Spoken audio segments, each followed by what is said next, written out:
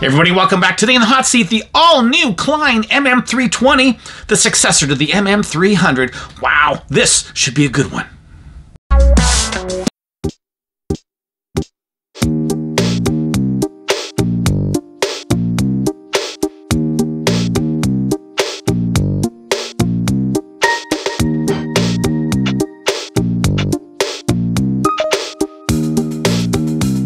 Klein meters are oh so popular on the channel. Just people love Klein. They love Klein. And you know what? I don't blame them. Klein's been around for a long, long time. One of those strong American names that just brings back confidence uh, to a genre. In this case, it is electronics testing. And boy, I'm happy I have the MM320 here for you here guys. Here we are side by side, the MM600, the MM320, and the MM300.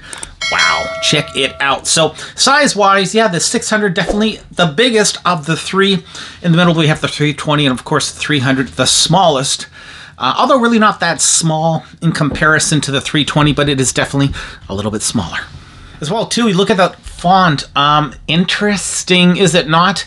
Yes, chunky, funky for both the 600 and the 300, but we have a much different style font on that uh, LCD display for the 320. What do you prefer? Personally, I do like the style of the 320. Clarity-wise, though, I've got to tell you that chunky, funky uh, font on the 600 and the 300 are definitely brighter and bolder than the 320. Uh, go figure. So a bigger font, but just not as bright, not as contrasty as the other two. Weird, weird. The selector switch as well, 40 millimeters, 40.2 millimeter to be exact for the 320, 42 millimeter for the 600, and, and a much smaller 35 millimeter for the 300. So, uh, pretty well the same style or same size rotary selector uh, for these two units, definitely smaller. So if you've got big hands, you're going to find that these are definitely easier to work with.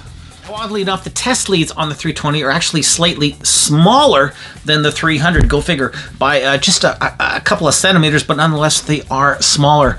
Um, also, what is lacking is that uh, nice ETL rating, safety rating that you get with those uh, 300 test leads uh, noticeably absent from the 320. So, uh, yeah, bizarre.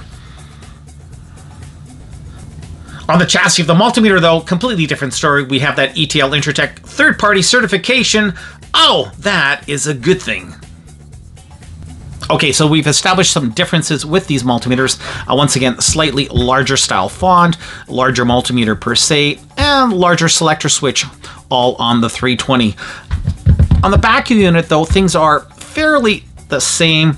Once again, tiny bit bigger, the uh, tilt stand on the 320 as compared to the 300, but really nothing significant. They both have a really nice wide berth, so you have a lot of stability here. And yeah, basically, I would say almost identical. Also, you can see ever so slightly a tiny bit difference in terms of the height of the 320. Again, just a tad bigger than the 300. That MM320 selector switch, oh yeah. Beauty, beauty, clickety click, clackety clack. This is a joy to work with, and it's big enough you can really dig your fingers in there. Even if you have gloves on, it's not going to be a problem. Oh, love it. One of the really nice things about Klein is that body, that shell. Uh, gorgeous. It's the only way I can describe it. Um, a beautiful feel to that holster. Uh, very tactile. Um, it's not that plasticky, cold, you know, cheesy, cheap feeling. No, it has a really nice style rubber boot. And uh, this is pretty well par for the course with any of the Kleins. Now, the boot, once again, on this model does not come off. It is permanently attached, part of the molding of the multimeter itself same as the 300 series. But that being said, really, really nice attention to detail, and it really works well. DC precision voltage time sitting at 10.06 volts. Should be looking at 10.00. Hey, not too shabby. Let's move it down a notch, shall we? And going down 5 volts is what we want. And coming up as 5.03. Finally, we want to see 2.5 volts. And coming up is 2.51. Hey, not bad, not bad at all. Take a closer look at the selector switch starting at the midnight or off position. Volts DC up to 600 volts. Diode. Continuity mode. Resistance up to 2 mega ohm. Amps DC from 200 microamps to 10 amps. 1.5 and 9 volt battery test. Volts DC up to 600 volts. A single one touch hold. At the bottom of the meter, we have our single high current 10 amp input. In the middle, we have our common or ground, and on the far right, we have our voltage, resistance, diode, continuity, microamp, and milliamp. Already we have a DC voltage showdown here. Of course, we've got that ever so accurate MM600. In the middle, we have the 320, of course, the 300 on the far right. Now, 2000 count display for both of the 320 and the 300, not as good as that 600. And as well, non-auto ranging don't forget those Klein tools. MM320 and 300 are non-auto ranging, unlike the MM600. Okay, sitting at 1.00 volts. Here we go. 1.00 for the 600, 1.01 and 1.00 for the 300. Up, up, sitting at 5.01 volts right now. 5.01 for the 600, 5.04 for the 320, and 5.01 again for the 300. Let's take it up, up. We're gonna hit 15 volts even Steven. 15.01. 15.02 coming up for the 600, 15.1 for the 320, and 15.04 for the 3. Finally sitting at the max, 32.01 volts, 32.01, it's fluttering, 0102 for the 600, 32.1 for the 320, and 31.9 for the 300. Wow, that was pretty darn close, I gotta say. But as always, Klein MM600 comes in first. In second, I'm gonna give it to the 300. And in last place, unfortunately, the brand new Klein 320. Whew, that was fun. Hey everybody, welcome back to another multimeter.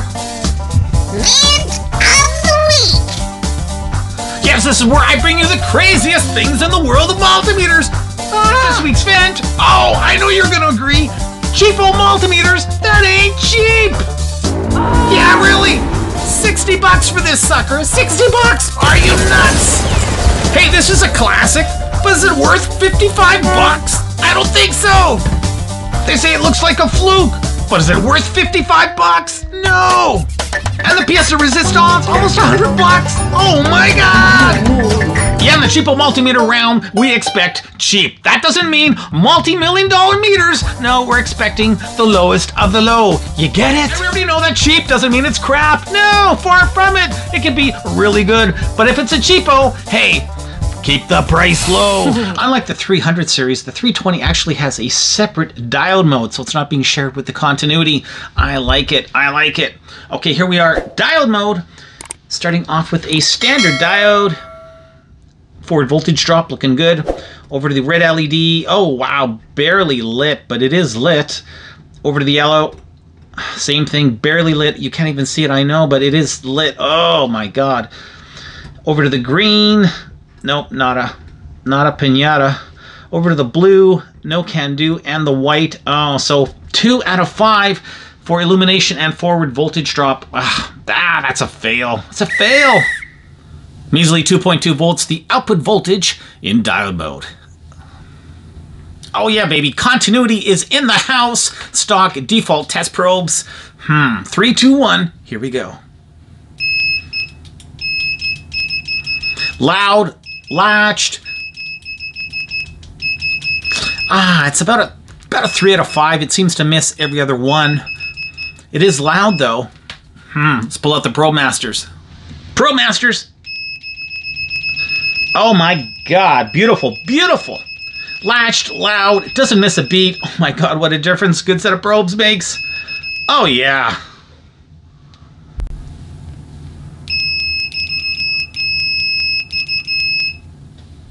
Seventy-two point nine decibels, maximum output volume in continuity. Not bad, not bad at all. Now, unfortunately, in terms of uh, just pure threshold for resistance, uh, pretty measly 2 mega ohm. That's it, that's all, the maximum. Ah, too bad. We don't do better than that in 2022. Uh, anyway, suffice to say, let's see at least how fast it is to range. Sitting at 2 mega ohm right now. Bring it down to 1 mega ohm. Yeah, that's not too shabby. Let's try 1.9 mega ohm. 1.99 mega ohm. 1.999. Okay, so in terms of scaling speed, it's not too bad. One mega ohm back up to two. Yeah, so faster range, but just not a lot of range to work with. And in terms of resistance accuracy, once again, we don't have a lot of range to work with, but coming up as 0.100 of a kilo ohm, uh, looking good. No capacitance on the multimeter, sadly lacking once again. Um, yes, let's face it, feature-wise, this is pretty bare bones. Um, one touch hold again, nothing fancy. Find your range, hit hold, and it holds that value. Um, nothing special. Basically, every multimeter has one. Okay, let's take a look on the inside and see how it's built a definite step up from the 300 in terms of fuse access. Look at that. Wow, now that I like to see. So unlike the 300 where you got to basically take the whole darn thing apart to change that fuse, no worries here. Easy access to both the milliamp and the high current 10 amp fuse. Good stuff. Once again, they both have that nice threaded insert and they're both by powered by those AAA batteries. Wow, check it out, check it out. Look at that. Gorgeous, gorgeous input protection on the 300. I gotta say, it is vastly improved. Count them, one, two PTCs, three MOVs, and they are nice and big and chunky. Both of the fuses are 600 volt as well. Uh, nice to see Klein stepping up in terms of that voltage rating big, thick, chunky inputs. And once again, I mean, these are pretty good on the 300, but once again, that 320 takes it up a notch. Look at that. Uh, screwed in and beautifully soldered, just all in all, really, really nicely done. Another diode clamp over here as well. Um, beautiful. No residue anywhere on this motherboard. Wow, this sucker is clean. Usually you're going to see some flux somewhere, but I'm telling you, Klein did a top-notch job. Absolutely stellar. And a big, huge kudos to Klein. If you've noticed, they have done away with that absolutely, oh, I want to make you cringe battery connection method uh, they used on the 300. The 320 now makes a lot more sense, much more cleaner. If they have those two nice pads that make contact with that battery housing unlike the older 300 series where look look what they did they had these ugly cutouts for the spring terminals to make contact with the it's like it was just nuts absolutely nuts. So huge improvement. Um, good job klein. Thanks for listening. Finally if we look at the fab date here 2020 august 10th you know this is a new multimeter. Loving it loving it. Okay gonna put things back together. Come back with my closing thoughts Hey, let's face it, the Klein Tools MM320, it's not the most advanced multimeter out there, not even close, but I think it's a huge upgrade over the 300, especially in terms of build quality. Ah, it is definitely worth it. Things like just basic diode testing, it kind of sucked. Oh, it's such a disappointment. But man, oh man, they sure did a good job in the internals. This thing has some great input protection, built like a tank, and I'm telling you, that improvement to the battery connecting assembly, oh, that alone is worth the upgrade over the 300. I think the display is better, it's bigger, it's overall nicer looking, but man, a backlight would have been a huge improvement. Klein, are you listening? We need a backlight! For some funny reason, it's just not as accurate as the 300. Oh well, what can we say? But it's still well within spec. Hey, I think it's worth the money. The Klein Tools MM320 gets a solid 3.5 out of 5 stars. Thanks for watching this review, everybody! Till the next one, keep on testing.